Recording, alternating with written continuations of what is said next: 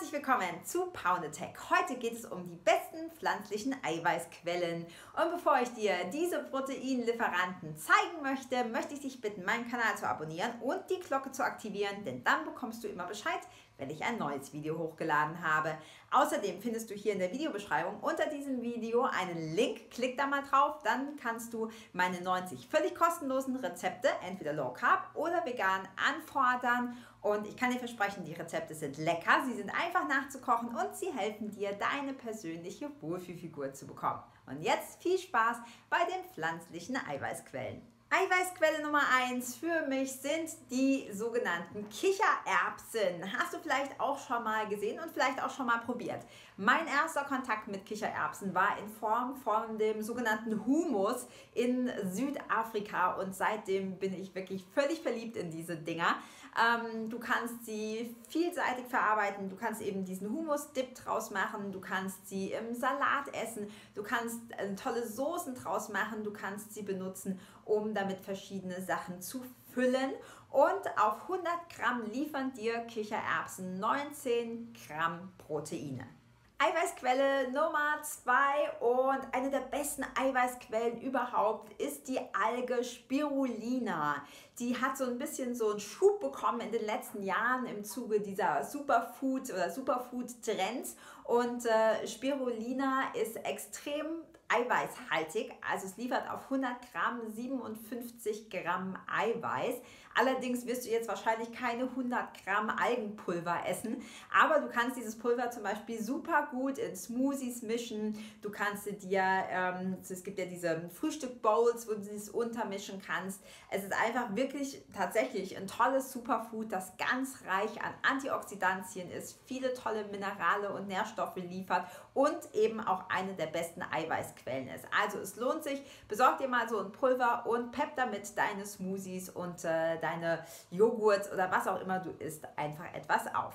Proteinquelle Nummer drei für mich sind die Linsen. Für mich gab es als Kind immer ganz oft Linseneintopf und das hat so ein bisschen, ja, so Kindheitserinnerungen. Also ich mag das einfach total gerne. Aber du musst nicht unbedingt Eintöpfe machen. Man kann mit Linsen auch eine Menge tolle Sachen machen. Ähm, eben auch in Form von Sommersalaten oder ähm, herbstlichen Gerichten, äh, eben auch Eintöpfe. Du kannst Soßen damit machen. Also hier ist auch wirklich eigentlich kein Ende an tollen Rezepten. Einfach mal googeln, du findest eine Menge, was du mit Linsen machen kannst. Ich persönlich mag besonders die roten Linsen gerne, aber du kannst hier einfach testen. Es gibt verschiedene Linsenarten und im Schnitt gibt 100 äh, Gramm gekochte Linsen ungefähr 12 Gramm Proteine.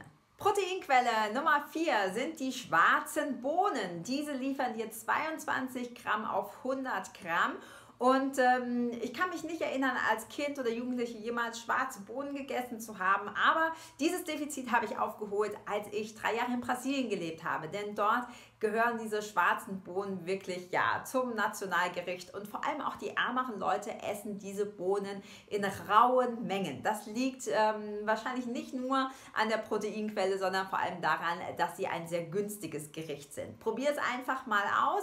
Ähm, du kannst damit tolle Gerichte machen falls du Fleisch isst, gibt es das brasilianische Gericht Feijoada, was wirklich lecker ist. Da gibt es auch natürlich eine vegetarische Variante und äh, du kannst mit dem Bohnen tolle Eintöpfe machen, äh, tolle Gerichte, auch eben Soßen und Dips. Also versuch einfach mal mehr schwarze Bohnen in deine Ernährung einzubauen, denn sie bieten eine tolle Eiweißquelle und sie machen satt. Proteinquelle Nummer 5 sind die Kürbiskerne. Kürbiskerne ähm, sind nicht nur lecker, sie liefern dir auch jede Menge Eiweiß und auch Eisen. Ich hatte zum ersten Mal Kontakt mit Kürbiskernen in meiner Schwangerschaft, denn da sahen meine Blutwerte nicht ganz so gut aus und mein damaliger Frauenarzt empfahl mir, ähm, doch mal ein ordentliches Steak zu essen. Ich war damals schon überzeugte Vegetarierin und das kam natürlich nicht in Frage. Also habe ich geschaut, welche pflanzlichen Eisenquellen gibt es denn? Und da bin ich auf Kürbiskerne gestoßen, denn diese liefern 20 Milligramm Eisen pro 100 Gramm und außerdem sind sie eine tolle Eiweißquelle. Auf 100 Gramm findest du 19 Gramm Eiweiß in den Kürbiskernen. Ich persönlich mag sie am liebsten als Snack oder angeröstet über dem Salat. Also Kürbiskerne sind super, du kannst sie auch untermischen, zum Beispiel in das Müsli und äh, damit deine Ernährung einfach etwas aufpeppen. Jetzt kommen wir zu den sogenannten Pseudogetreiden und unser erstes Pseudogetreide ist Amaranth. Amaranth bietet dir 15 Gramm Eiweiß auf 100 Gramm. Es stammt aus Südamerika und äh, schmeckt richtig lecker. Du kriegst es als ähm, roh, also als äh, Getreidekörner, die du dann kochen kannst oder auch als gepufften Amaranth. Da eignet er sich perfekt für ein leckeres Müsli. Ähm, das heißt übrigens deshalb Pseudogetreide, weil man nicht so richtig zuordnen konnte, sind es denn jetzt eigentlich Samen und Körner oder ist es eher ein Getreide? Aber Fakt ist, es ist auf jeden Fall ein toller Getreideersatz, denn es enthält auch kein Gluten und äh, jede Menge Eiweiß und schmeckt total lecker. Auch sehr vielseitig, also einfach mal ausprobieren und es lohnt sich, das zu testen.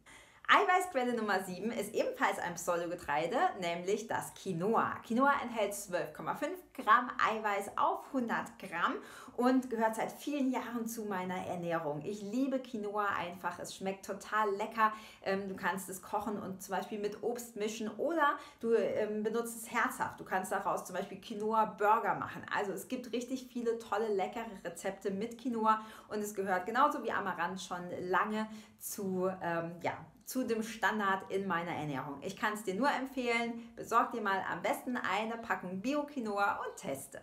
Eiweißquelle Nummer 8 sind die Hefeflocken. Sie enthalten 43 Gramm Eiweiß auf 100 Gramm. Ich muss zugeben, ich konnte am Anfang mit Hefeflocken überhaupt nichts anfangen.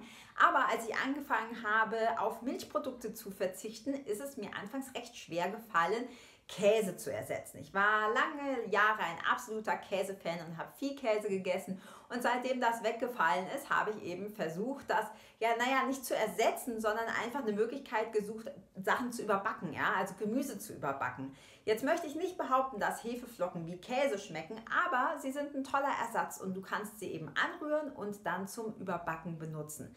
Außerdem mit 43 Gramm auf 100 Gramm Eiweiß ganze Menge, also definitiv ein Versuch wert. Die neunte Eiweißquelle sind die Chiasamen. Diese stammen ebenfalls aus Südamerika und äh, sind solche kleinen Körner, sehen so ein bisschen aus wie Vogelfutter.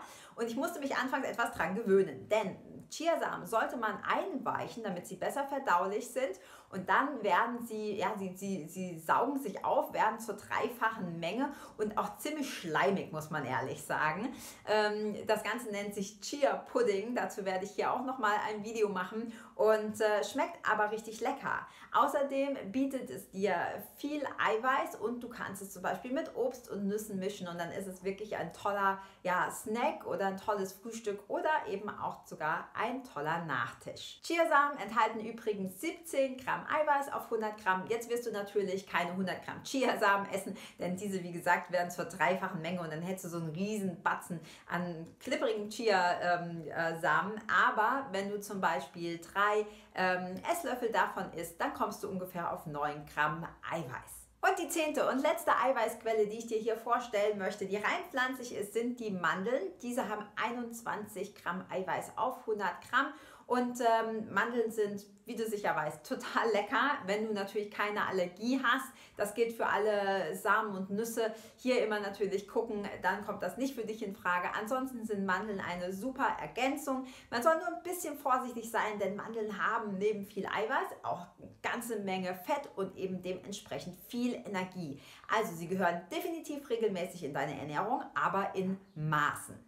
Wenn dir dieses Video und die Liste an 10 pflanzlichen Eiweißquellen gefallen hat, dann lass es mich gerne in einem Kommentar wissen. Vielleicht kennst du noch mehr pflanzliche Eiweißquellen, die du persönlich gerne benutzt. Drück auch gerne auf Gefällt mir und wenn du möchtest, sehen wir uns zum nächsten Video wieder. Bis dann. Ciao.